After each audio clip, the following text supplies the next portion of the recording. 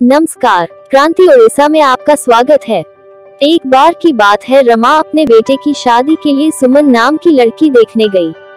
सुमन के घर पहुंचकर उनको पता चला कि वह बच्चों को ट्यूशन भी पढ़ाती है।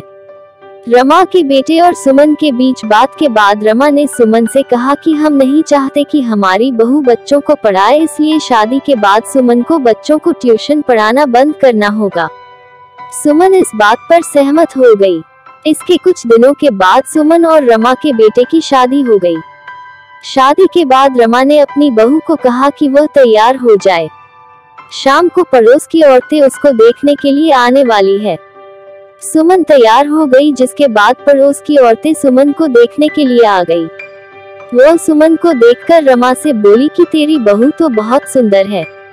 एक औरत ने पूछा, क्या यह नौकरी भी करती है? रमा ने बताया कि शादी से पहले वह बच्चों को ट्यूशन पढ़ाती थी, लेकिन उसको यह सब पसंद नहीं है। उसका बेटा अच्छा कमाता है, इसलिए उसको काम करने की ज़रूरत नहीं है।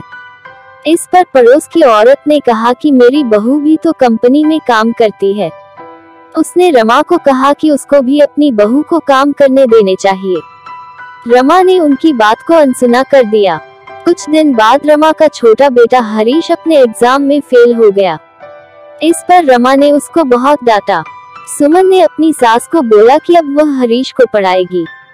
रमा ने बोला कि हरीश को वह कितना ही पढ़ा ले, लेकिन वह पास नहीं होगा क्योंकि वह पढ़ाई में ध्यान नहीं देता। इसके बाद सुमन हरीश को रोज पढ़ाने लगी। हरीश को अपनी भाभी का पढ़ाया हुआ अच्छे से आने लगा।